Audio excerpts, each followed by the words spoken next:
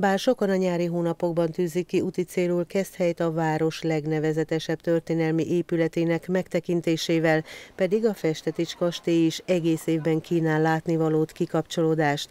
A 101 szobás főépületben a régi főúri életforma bemutatása mellett a közel 100 ezer kötetes impozáns könyvtár is kínál érdekességeket. A Hintó és Vadászati Múzeummal, valamint a Pálmaházzal kibővült múzeum együttes kínálata évről évre nő. 730 ezer kiállítás megtekintés jelent. Pálinkás Robert a kastély látogatottságáról adott tájékoztatást, ami igazolja, hogy a kínálat bővülésével a látogatók száma is jelentősen nő. Folyamatosan emelkedő tendencián mozgunk. Ez azt jelenti, hogy a 2018-as évben valamivel több mint 230 ezer látogatója volt a Helikon Kastély Múzeumnak, ez kiállítás megtekintésben 730 ezer eh, kiállítás megtekintést jelent. Ugye ezt úgy számoljuk, hogy a valós látogatószámot eh, szorozzuk azokkal a számokkal, ahányan, eh, ahány múzeumot meglátogatott. És örömmel mondhatom el, hogy a kombi jegyek lettek a legnépszerűbbek, mindösszesen körülbelül 73 ezer ember vásárolt kombijegyet, a kastélyba, kastély hintó kombot pedig összességében 68 ezer. A kastélymúzeum életében minden szempontból kiemelkedő év volt a tavalyi.